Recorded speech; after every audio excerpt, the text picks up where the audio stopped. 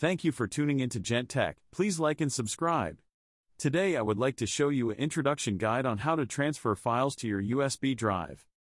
First start by going to your File Explorer. It is the icon that looks like a folder. On the left hand side you will see under this PC, your USB drive, mine is listed as Recovery D. Now if you want to make a new folder in your USB drive that you want your transferred files moved to, simply right click and create new folder inside the USB. Now I'm showing a simple way, you can easily left click any icon or files and simply drag and drop into the folder you want these files transferred to.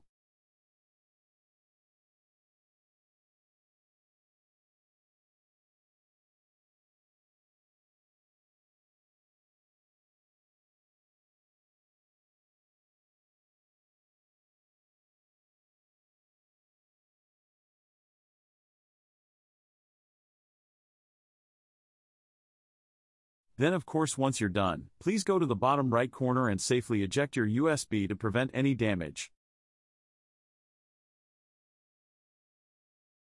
Please don't forget to smash that subscribe and like button.